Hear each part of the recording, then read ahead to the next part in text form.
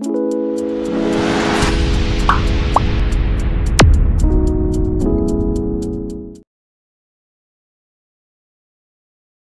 guys, welcome back to channel. In this video, we discuss about the SPPU INSEM examination updates. तर अ, मला तुम्हाला एवढंच सांगायचं आहे की मागच्या वेळेस तुम्हाला माहीत असेल इन्सेम एक्झामिनेशन जी झाली होती ती जवळपास नाईन्टी नाईन पर्सेंट एक्झामिनेशन्स ही होम फ्रॉम होम म्हणजेच ऑनलाईन प्रकारे कंडक्ट झाली होती.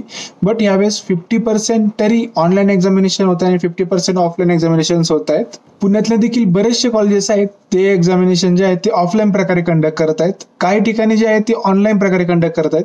नाशिकमध्ये तर जवळपास सगळेच कॉलेजेसनी ऑफलाईन एक्झामिनेशन कंडक्ट करायचा विचार केलेला आहे. आणि नगरमध्ये देखील बरेचसे कॉलेजेस आहेत ऑनलाईन काही थोडे ऑफलाईन बट जास्त करून ऑनलाईनच कारण की आमच्या कॉलेजेसने देखील आमचं सांगितलेलं आहे की तुमची एक्झामिनेशन जी आहे ती ऑनलाईन प्रकारे कंडक्ट करण्यात येईल. आम्हाला एक छोटा मेसेज त्यांनी पाठवलेला आहे.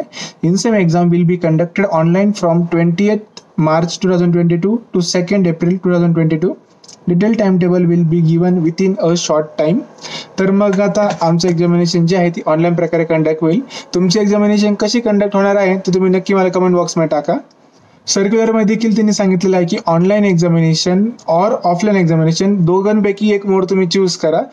त्याच्यानुसार मग कॉलेजेसने त्यांचा त्यांचा जो पण मोड असेल तो सिलेक्ट केला. काहींनी ऑनलाईन मोडला प्राधान्य दिलं काहींनी ऑफलाईन मोडला प्राधान्य दिलं आहे. तर मग ही टोटली कॉलेजवर डिपेंड राहणार आहे की एक्झामिनेशन ऑनलाईन प्रकारे कंडक्ट करायची का ऑफलाईन प्रकारे? युनिव्हर्सिटीने स्वतः सांगितलेलं आहे कॉलेजेसला की कॉलेजेस लेवलवरच एक्झामिनेशन होणार इनसेम एक्झामिनेशन मग ती तुम्ही ऑनलाईन प्रकारे कंडक्ट करा किंवा ऑफलाईन प्रकारे कंडक्ट करा? तर मग मला या व्हिडिओमध्ये तुम्हाला एवढंच सांगायचं होतं की मेन गोष्ट की तुमच्या एक्झामिनेशन जे आहे ते कॉलेज लेवलवर डिपेंड राहील. काही ठिकाणचं तुमच्या शेजारचं कॉलेज ऑनलाईन असू शकतं बट तुमचं कॉलेज ऑफलाईन असू शकतं किंवा तुमचं ऑनलाईन असू शकतं किंवा शेजारचं कॉलेज ऑफलाईन असू शकतं.